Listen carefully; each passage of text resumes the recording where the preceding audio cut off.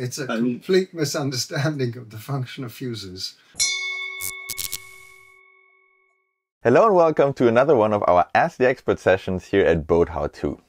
We're Jan and Nigel, and um, today we have a question from someone who's asking It is said that household electricians use fuses to protect electrical cables, while sailors use fuses to protect low power devices.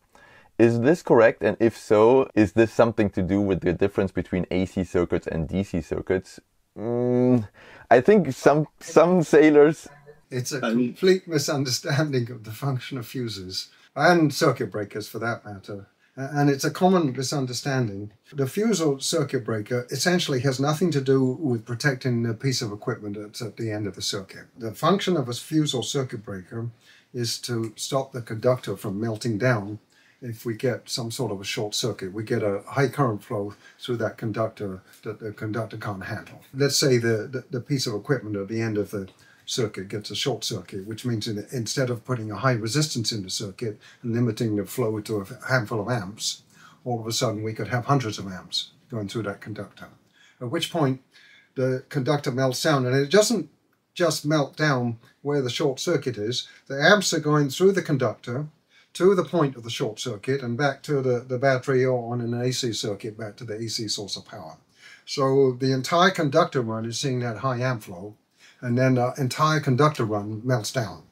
And if it's in a bundle with other conductors, it melts all the other conductors and then we've got multiple short circuits on the boat. So we always put a fuse or circuit breaker at the source of power end of the circuit. So if we get these high current flows, the fuse blows or the circuit breaker trips and that shuts down the entire circuit and then uh, we don't have any meltdown.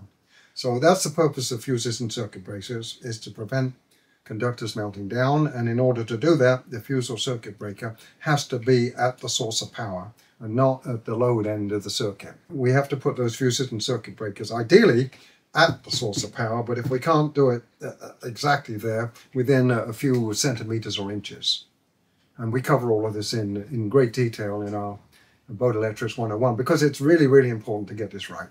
Exactly. And um, I actually see that a bunch of times on boats where people put a fuse right in front of their device. And I'm like, this doesn't do anything to protect the rest of the wire. Nothing so, at all. Exactly. So, um, yeah, if you want to learn how to properly place fuses and circuit breakers in your boat's installation and make it a lot safer, check out our Boat Electrics 101 course where we talk about this in great detail.